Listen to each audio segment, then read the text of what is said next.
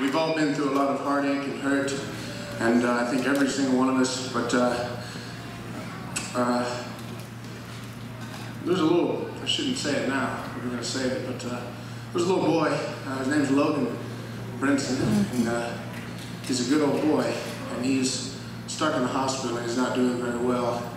And I met him when I was doing the Green Dollar Quartet, and he just made me want to be a better person, you know. And he's stuck right now in the hospital in a drug-seduced coma, so uh, let's pray for Logan.